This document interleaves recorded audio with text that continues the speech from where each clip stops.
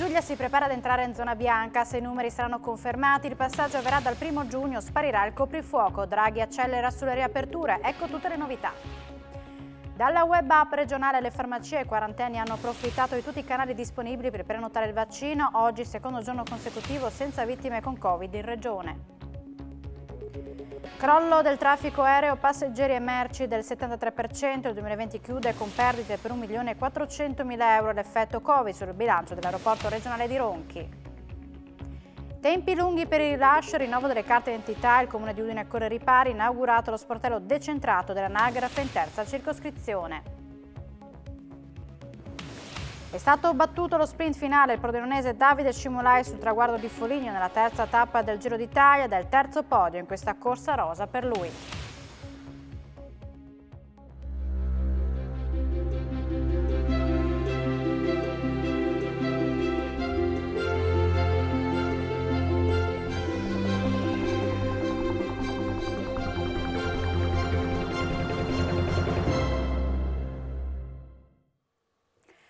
Buonasera, ben ritrovati a un nuovo appuntamento con l'informazione di Telefriuli. Se sarà confermato il trend degli ultimi dieci giorni, dal primo giugno il Friuli Venezia Giulia sarà in zona bianca. Oggi riunione della cabina della regia politica e Consiglio dei Ministri per il nuovo decreto. Draghi sposterà il coprifuoco alle 23 da domani e nel weekend riaprono i centri commerciali. Nel servizio le principali novità.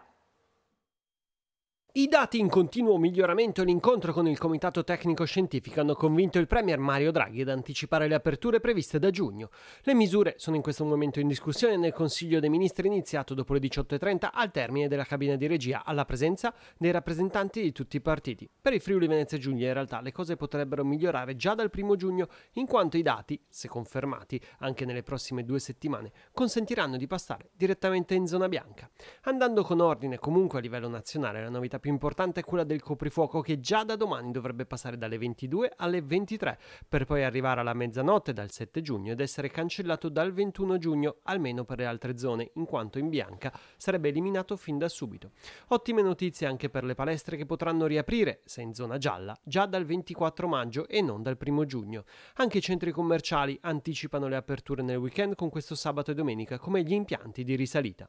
Al momento resta confermata la possibilità di consumazioni al banco e di pranzi e cene al chiuso dal 1 giugno, data nella quale si potranno aprire gli spalti delle competizioni sportive fino a un massimo di 1000 persone sulla base della capienza, ovviamente all'aperto. Al 1 luglio invece per le competizioni al chiuso e fino a un massimo di 500 spettatori. Per matrimoni e cerimonie si potranno fare dal 15 giugno con Green Pass e sulla base delle linee guida che arriveranno dal Comitato Tecnico Scientifico. Stessa data per l'apertura dei parchi tematici e per convegni e congressi, con questi ultimi, che richiedono però il Green Pass. Il primo luglio invece via libera a corsi di formazione alle sale giochi e centri scommesse, piscine e centri natatori al chiuso e centri culturali. Ancora nulla di fatto per discoteche, la cui riapertura è attualmente in fase di valutazione. Per il secondo giorno di seguito in Friuli Venezia Giulia non si registrano decessi con Covid, i ricoveri nelle terapie intensive scendono a 15, mentre restano 72 quelli in altri reparti. 16 in tutto i contagi da 1216 tamponi molecolari e 361 test rapidi antigenici. Scendono a 5621 le persone in isolamento, nessun caso nelle strutture per anziani sia tra ospiti che operatori. 3.000 le persone in attesa sulla web app regionale alle 4 di questa mattina, poi diventate 5.000. I quarantenni hanno preso d'assalto la piattaforma dedicata nel primo giorno utile per la prenotazione delle vaccinazioni anti-Covid per gli over 40. Moltissimi cittadini che sono rivolti alle farmacie per prendere appuntamento. Alle 10 di questa mattina le adesioni erano 14.343. All'assessore le adesioni quotidiane totali alla campagna vaccinale in Friuli Venezia Giulia erano 15.984. Positiva la risposta ai vaccini anche per la due giorni di Villa Manin, dove nel fine settimana sono stati complessivamente 2.229 i vaccini inoculati. Nel 97% dei casi è stata somministrata la monodose della Johnson Johnson, mentre per 71 dosi è stato usato il farmaco, il farmaco Pfizer. Crollo del traffico aereo che cala del 73% e perdita di 1,4 milioni nel 2021, l'effetto Covid sul bilancio del Trieste Airport. Un rosso di 1,4 milioni di euro causato dal crollo del traffico aereo con un meno 73% di passeggeri e del meno 72% di merci. Il bilancio 2020 del Trieste Airport, come per tutti gli scali del mondo, si chiude con un segno meno pesante, ovviamente a causa della pandemia che ha azzerato gli spostamenti sia nelle rotte interne che in quelle estere con 4.600 aerei movimentati in meno rispetto al 2019 in calo del 66%. L'assessore regionale alle finanze Barbara Zilli intervenendo all'Assemblea dei Soci con la regione che detiene il 45 45% delle quote, ha espresso comunque ringraziamento per l'attività della direzione nel riuscire a mantenere i livelli occupazionali, anche se 130 dipendenti sono in cassa integrazione, e a ridurre i costi. La società e il suo management, ha detto Zilli, si sono mossi al meglio per limitare i danni, contenendo il più possibile i costi operativi e registrando alla fine un margine intermedio ancora positivo, anche se non in grado di assorbire gli oneri derivanti da ammortamenti e accantonamenti. Adesso diventa strategico concentrare tutta l'attenzione sul piano voli per i prossimi mesi estivi il nostro scalo, concluso Zilli, è un elemento fondamentale nel processo di potenziamento dell'attrattività turistica del Friuli Venezia Giulia.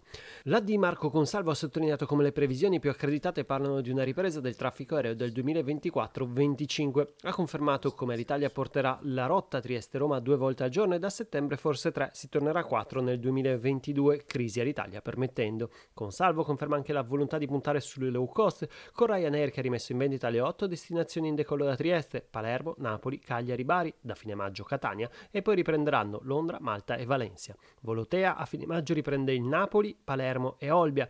Infine Lufthansa da inizio luglio riparte con due voli al giorno su Francoforte e successivamente Monaco.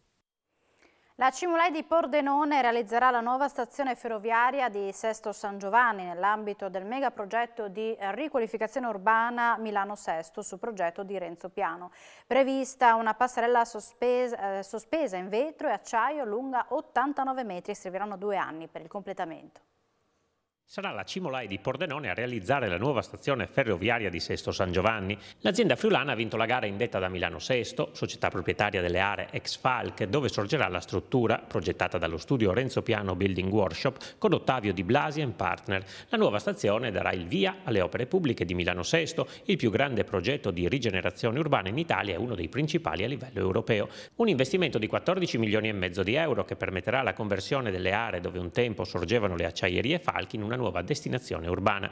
Le opere di costruzione della nuova stazione ferroviaria inizieranno a luglio e vedranno la realizzazione di una passerella di 89 metri di lunghezza per 18 di larghezza sospesa al di sopra della linea ferroviaria esistente. La struttura in ferro e vetro avrà inoltre una copertura fotovoltaica in grado di alimentare per intero la nuova stazione per la quale serviranno due anni di lavori. Cimolai presterà particolare attenzione alla minimizzazione dell'impatto ambientale per quanto riguarda le polveri. Per Luigi Cimolai, presidente dell'azienda azienda pordenonese questo progetto rappresenta una nuova sfida nell'ambito delle grandi riqualificazioni urbane. Nel filone principale del processo sui falsi prosciutti DOP al Tribunale di Pordenone, oggi nell'udienza preliminare il PM ha chiesto il non luogo a procedere per l'associazione a delinquere. Restano in piedi le ipotesi di frode, contraffazione alimentare e truffa. Le sentenze sono attese per il 28 giugno. È ripreso dopo la sospensione causata dalla pandemia al Tribunale di Pordenone il processo sui falsi prosciutti DOP, un'inchiesta nata nel 2018 e che ha visto oltre 100 indagati che si è sviluppata in due filoni. Oggi davanti al GUP Rodolfo Piccin si è discussa l'udienza preliminare del filone principale, quello che vede indagate 24 persone fisiche e 10 giuridiche tra imprenditori, allevatori veterinari e società, ai quali la Procura contesta le ipotesi di frode nell'esercizio del commercio e contraffazione di alimenti DOP e a 8 di questi anche un'ipotesi di truffa tentata e di una truffa consumata per il conseguimento di contributi regionali, ma l'accusa più pesante era quella di associazione a delinquere che pendeva sulla testa di otto indagati. Per questo reato il PM Carmelo Barbaro ha chiesto formalmente il non luogo a procedere sulla scorta di quanto già indicato dal Tribunale del riesame di Trieste e dalla Cassazione, una notizia accolta con fiducia dagli avvocati difensori. Tra gli indagati quattro hanno chiesto il rito abbreviato, uno il patteggiamento, altri la messa alla prova. Il giudice Piccina ha rinviato l'udienza il 28 giugno, quando sono attese le repliche le sentenze. Tutto fermo invece per il secondo filone, quello che vede una settantina di indagati approdato al dibattimento con citazione diretta dinanzi al giudice monocratico Eugenio Percola. Manca per questo ancora una nuova data. Un cittadino rumeno di 53 anni, residente a Cervignano, è stato riconosciuto colpevole dal Tribunale di Udine di molestie e minacce nei confronti di un conducente condannato dal giudice Mauro Qualizza a 900 euro di ammenda. I fatti risalgono al 17 maggio 2019 quando l'uomo in preda all'alcol ebbe un diverbio con il conducente per un servizio e cominciò a insultarlo. Durante la notte inviò al tassista alcuni messaggi nei quali affermava di conoscere persone di varie etnie e di volerlo cercare cercare. Gli insulti continuarono anche il giorno successivo davanti alla stazione dei Carabinieri la presenza di un militare dell'arma dove due si erano dati appuntamento per dirimere la questione. Il giorno successivo ancora quando il 53enne incontrò il conducente nel piazzale della stazione di Cervignano finendo per sputargli in faccia. Atteggiamento questo che convinse il tassista a presentare querela. L'uomo è stato anche condannato a risarcire la vittima con la somma pari a 2.500 euro. Il maltempo di questa notte ha richiesto l'intervento intervento dei vigili del fuoco in diversi comuni del Friuli Venezia Giulia. A causa di una frana è stata chiusa temporaneamente la statale, statale 54 a Pulfero in direzione della Slovenia, riaperta solo in mattinata a senso unico alternato, smottamento anche a Tarcento, acquaduto Alberi, Rami, poi a San Vito Tagliamento, Ronchi, dei Legionari, zona Miramare e San Vito. Alla Torre, allagamenti in uno stabile straniere del Friuli, un fulmine ha colpito un quadro elettrico, infine a Muzzana del Turniano, le condizioni meteo sono migliorate poi a metà mattina. Colpo da 40.000 euro in un'azienda di Povoletto. Questa notte ad accorgersi della sottrazione è stato un dipendente che, giunto a lavoro, ha scoperto il furto di materiale in rame di diversi costosi macchinari. Indagato per ricettazione dalla squadra volante di Udine un cittadino romeno durante un controllo su strada eseguito ieri in via Fondi Sotto nel capoluogo friulano è stato trovato in possesso di 139 bottiglie di superalcolici e champagne di marca che trasportava su un van. Tutto è stato posto sotto sequestro. Il sindaco di Pordenone oggi ha sporto denuncia ai carabinieri per lo striscione apparso fuori da casa sua sabato con il quale veniva etichettato come fascista. Dello striscione esposto fuori casa del sindaco di Pordenone Alessandro Ciriani, con il quale veniva etichettato come fascista, si occuperanno i carabinieri. Il primo cittadino oggi ha sporto formale denuncia ai militari dell'arma di Fiume Veneto, consegnando anche le immagini della videosorveglianza esterna dell'abitazione. Spero che le indagini possano portare ad individuare quelli che hanno appeso questo striscione, uno striscione delirante che attacca il sindaco non sul piano politico ma sul piano puramente ideologico, ripeto delirante. Ma la cosa che mi ha infastidito non è stato tanto il testo, nel senso che non do peso a quello che ritengo l'atto di qualche vigliacco, ma il fatto che è stato appeso fuori da casa mia di notte, come un gesto mafioso per dire sappiamo dove sei, una vera e propria minaccia, un'intimidazione. Se la discussione politica può essere anche accesa, talvolta aspra, se le ruggini esistono, non si può però arrivare a questi livelli. Il gesto è arrivato a ridosso dei giorni in cui si celebra il centenario delle barricate antifasciste di Torre e a Ciriani sono arrivati attestati di vicinanza da più parti. Bene che siano arrivati attestati di solidarietà trasversali, ci sono però degli ambienti ancora in questa città legati ad una certa sinistra che vivono la politica ancora con la testa rivolta nel passato, negli anni 70, nello scontro ideologico e che considerano il sindaco un fascista. Ma perché? Non perché vada bene Orbace col saluto romano, ma semplicemente perché ha delle idee politiche distanti dalle loro. Io ho fatto il presidente di provincia, ho fatto il sindaco, credo di non aver mai eh, provocato motivo di sdegno nei confronti della mia comunità e non ho bisogno di presentare patenti di democraticità o di agibilità democratica a nessuno. E per quanto riguarda i vaccini, le adesioni totali alla campagna in Friuli Venezia Giulia, comprese quindi quelle della fascia 40-49 anni, sono complessivamente pari a 36.928, la maggior parte delle quali avvenute rivolgendosi alle farmacie abilitate, ovvero 20.289 ed è stato inaugurato questa mattina nella sede della terza circoscrizione in via Cividale lo sportello decentrato dell'ufficio anagrafe del comune di Udine. È uno sportello dedicato alle carte d'identità e altri documenti che si fanno in anagrafe, senza venire in centro città, in via Beato Dorico da Pordenone, dove è la sede dell'anagrafe del comune, abbiamo installato in questo luogo, qui nella sede della circoscrizione, uno sportello per il rilascio delle carte d'identità. C'è qui la macchina, si fanno tutte le pratiche con tempi più ristretti rispetto a quanto avviene a Udine. Abbiamo voluto portare sul territorio queste opportunità anche perché c'è una lista d'attesa abbastanza lunga e quindi in questo modo cerchiamo di accorciare i tempi per il rilascio di un documento fondamentale e importante come è la carta d'identità. Allora l'invito è ai cittadini, soprattutto nella zona est della città, di potersi recare qui senza venire in centro per fare i documenti, il documento forse più importante che è la carta d'identità. Si può fare qui in via Cividale nella sede della circoscrizione. L'Angelo del Castello, uno dei simboli di Udine, dipinto sulla cabina dell'Enel, uno degli accessi del capoluogo friulano, è la parte di un nuovo murales del progetto Udine Città della Poesia. È stato inaugurato questa mattina. Un nuovo murales a Udine arricchisce il percorso dei dipinti di Simone Mestroni dedicati alla città della poesia.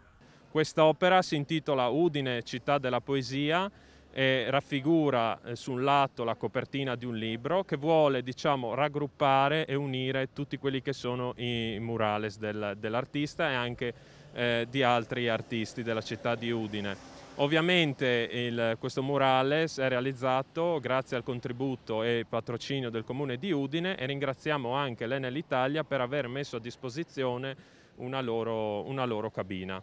Città della Poesia è un progetto di resistenza culturale e di didattica letteraria. Poi ehm, l'opera in questione invece fa riferimento a eh, una copertina di un libro, vediamola così, che racchiude tutte quelle che sono le opere letterarie di Città della Poesia dislocate nella città. Anche se voglio aggiungere che questa è un'opera che vuole in qualche modo sdebitarsi la, con, i, con, i, cittadini per la riconoscenza che questi ultimi mi hanno dato in questi anni. Ecco. E quindi ho voluto fare un'opera importante, forse capitale per la città e la dedico appunto a, a, alle persone che in qualche modo anche mi vogliono bene pur non conoscendomi perché quello che ho fatto è entrato eh, dentro di loro.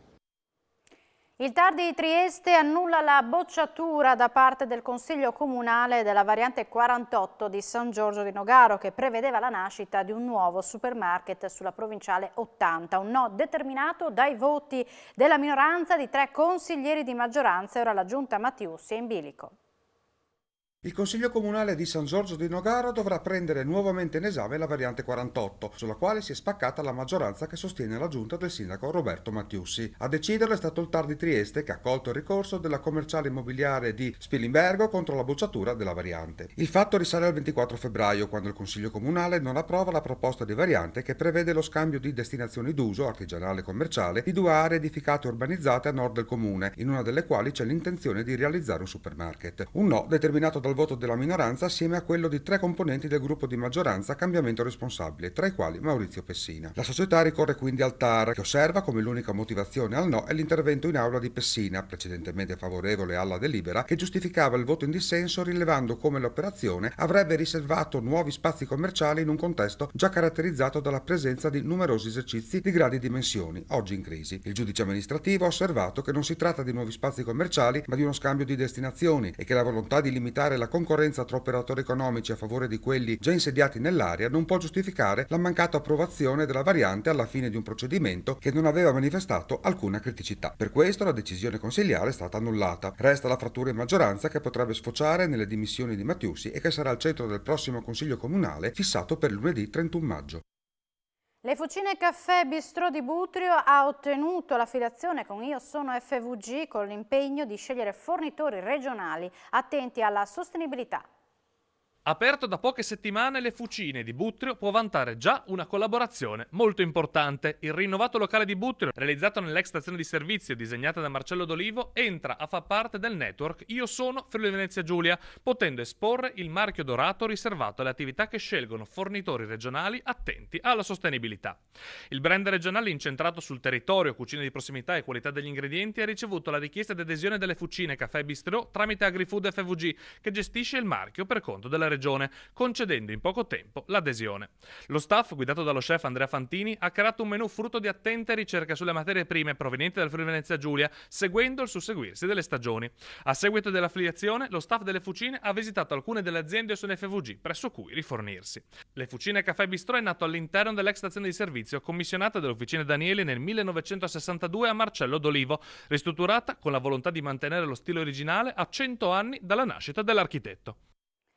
È arrivato terzo lo sprint finale sul traguardo di Foligno, Davide Cimolai della Israel Startup Nation, il terzo podio in questo Giro d'Italia per il Pordenonese che per due volte è arrivato secondo, domani giorno di pausa per poi iniziare la settimana che porterà il Giro d'Italia in Friuli. Basket, dopo la vittoria in gara 1 per 75 a 60, la Gesteco sarà impegnata tra poco a Cividale nella seconda uscita contro la Virtus Arechi Salerno. La gara sarà trasmessa in diretta su Telefriuli a partire dalle 19.30. L'obiettivo della squadra di coach Pillastrini dopo la positiva partenza di sabato e la vittoria in rimonta è sfruttare al massimo il vantaggio casalingo prima di affrontare le gare in trasferta. Vi lasciamo dunque alla sfida di basket, vi ringraziamo per l'attenzione, buona serata su Telefriuli.